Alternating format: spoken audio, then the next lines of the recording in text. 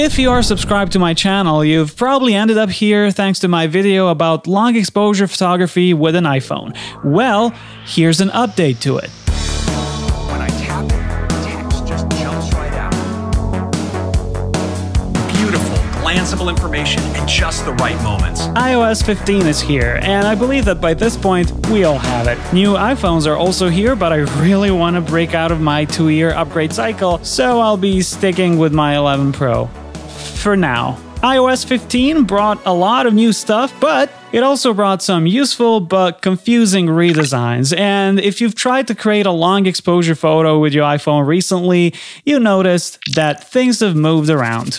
Long exposure or slow shutter photography is when you keep your camera shutter open for longer so that the movement in your shot becomes blurry. Think light trails or perfectly still looking water or clouds that look like they're moving. iPhones can't do this physically, but that's what software is for. Again, I have an entire video about this and I'll leave a link to it both above and below.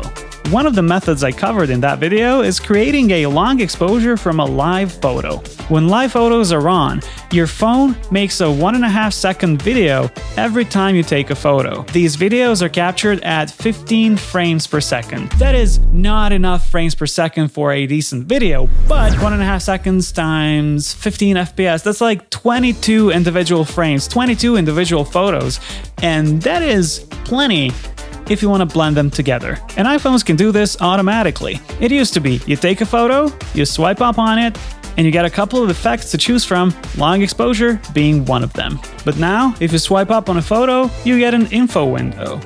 This window has been a feature on macOS for some time and I actually like it. Like you can see your settings, your location, you can adjust the location, which is amazing, and you can also add a caption to a photo and all these things were super difficult to do earlier. But how do you create long exposures now? Well, it is actually way quicker, like there's one step less, but it's also very easy to overlook. So, if you've taken a live photo, you'll see this thing in the top left corner above the photo saying live. Well, that's actually a drop down menu. So, if you click on it, you'll get the same list of effects you used to get by swiping up on a photo.